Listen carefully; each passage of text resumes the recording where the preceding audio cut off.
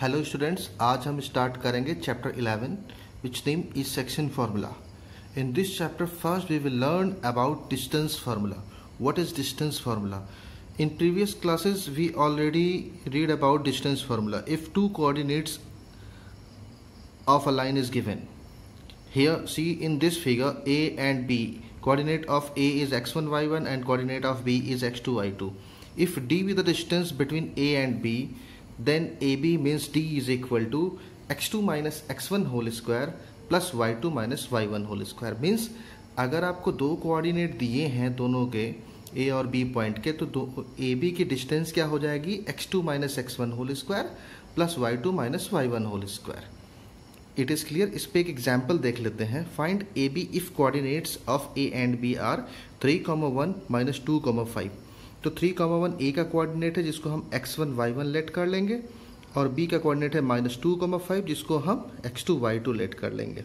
Clear अब distance formula हम लगाते हैं। X two minus x one whole square plus y two minus y one whole square under root में।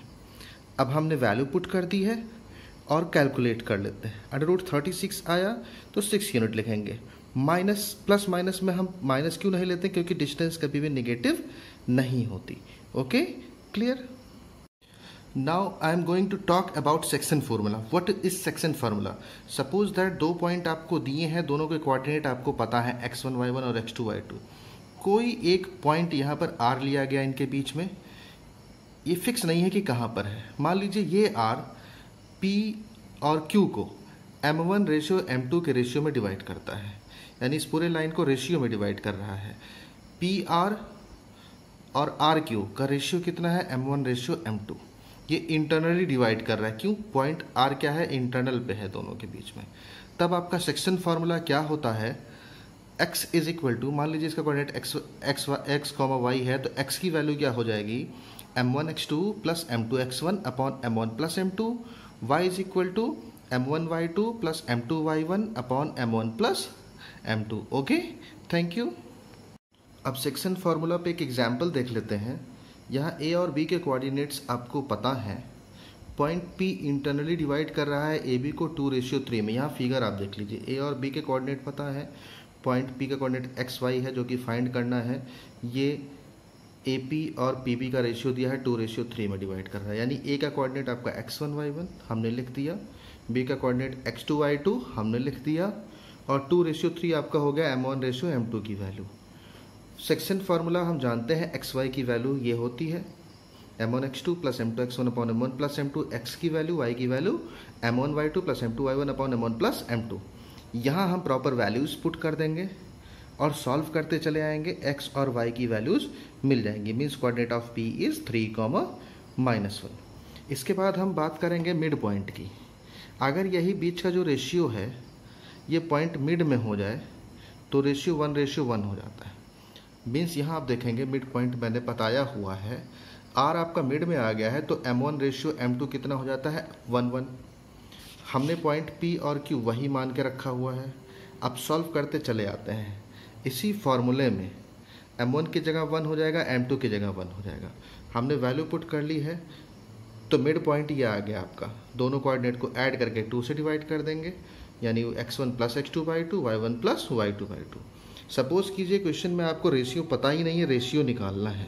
ऐसे question जब आपके पास आएँगे जिसमें रेशियो निकालना रहेगा बाकी पॉइंट्स आपको मालूम रहेंगे तो m1 को आप k मान लेंगे m2 को 1 मान लेंगे और रेशियो में ये वैल्यू रख करके पुट करते चले आएँगे के की वैल्यू फाइंड आउट करेंगे। मान लीजिए फाइव आ गया तो फाइव रेशियो वन वही आपकी वैल्यू हो जाएगी। ओके थैंक यू अब मिड पॉइंट थ्योरम पे बेस एक एग्ज़ाम्पल देख लेते हैं। यहाँ पर आपको मिड पॉइंट फाइंड करना है इन दोनों पॉइंट का, यानी x one y one x two y two दिया है मिड पॉइंट फाइंड करना है। मिड पॉइंट का ये फार्मूला होता है। एक्स वन है टू एक्स टू है आपका माइनस सिक्स हमने वैल्यू रख दी अपॉन टू सॉल्व कर लिया माइनस टू आ गया। Y one plus y two y one है आपका माइनस थ्री और वाई टू है seven minus three plus seven minus हो जाएगा, कितना आएगा? फोर बड़ी वाली डिजिट सेवन इसके पहले प्लस लगा है प्लस लगा देंगे। तो ये हमारा मिड पॉइंट आ गया ओके एक और देख लेते हैं फार्मूला इस तरह का क्वेश्चन बहुत ज़्यादा आता है आपके एग्ज़ाम में।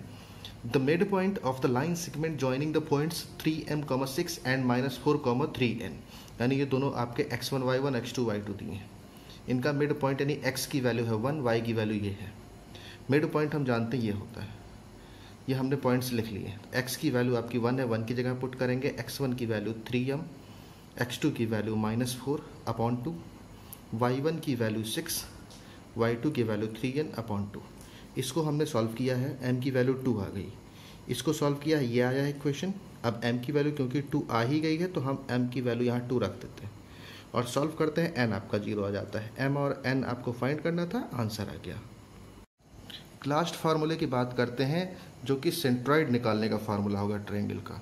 तो सेंट्रॉइड एक्चुअली होता क्या है? जैसे आपके पास कोई ट्रायंगल फाइंड आउट है और उसके वर्टिसेस से उसके अपोजिट साइड के मिड पॉइंट को जब हम मिलाते हैं तो वो मीडियन हो जाता है। क्या हो जाता है? मीडियन जैसे ये ए डी मीडियन हो गया।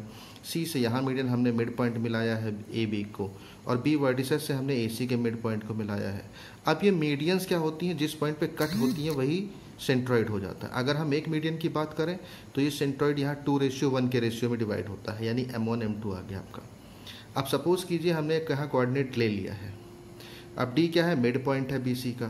तो डी का कोऑर्डिनेट आपका क्या हो जाएगा? X two plus x three by two y two plus y three by two ये डी का कोऑर्डिनेट आ गया। ए का coordinate x one y one मालूम है। M one ratio m two मालूम है। तो सेक्शन फार्मूला में हम वैल्यू रख देते हैं। तो एम वन है वन और एम टू है टू तो एम वन और ये एक्स वन वाई वन और यहाँ हमें, हमने क्या निकाला डी का कोऑर्डिनेट ये एक्स टू पूरा हो गया, ये वाई टू हो गया। वैल्यू पुट करके जब सॉल्व करते हैं तो ये फार्मूला होता है। आपको डायरेक्ट फार्मूला याद होना चाहिए सेंट्रॉइड निकालने का फार्मूला क्या होगा? X one plus x two plus x three by three y one plus y two plus y three by three अगर वर्टिसेस हैं ट्राइंगल के x one y one x two y two और x three Y three एक numerical यहाँ देख लेते हैं। ये नमेरिकल है आपका। Find the coordinates of the centroid of a triangle whose vertices are minus 1, comma 3, 1, comma minus 1 and 5, comma 1. हमने x1, y1, x2, y2, x3, y3 लिख दिया सेंट्रॉइड का ये फार्मूला है वैल्यूज़ पुट कर दी हैं सॉल्व कर लिया है आंसर आ गया है ओके स्टूडेंट्स नाउ अब हम एक्सरसाइज सॉल्व करेंगे